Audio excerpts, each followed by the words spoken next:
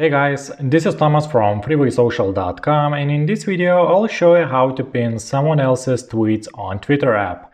You cannot directly pin other people's tweets on your feed, however there is a little workaround to this problem. Just follow these steps and you'll be able to pin someone else's tweet.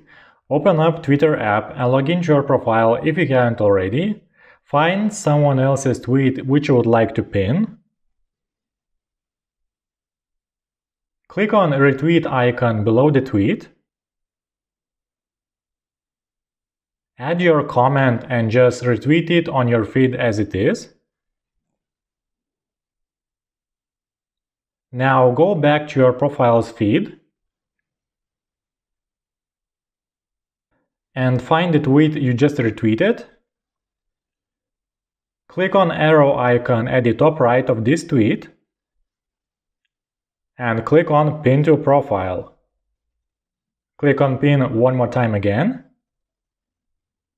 Done. You have pinned someone's tweet on your profile. I hope this guide was helpful and you were able to pin someone else's tweets on Twitter app. Don't forget to like this video and visit us at freewaysocial.com.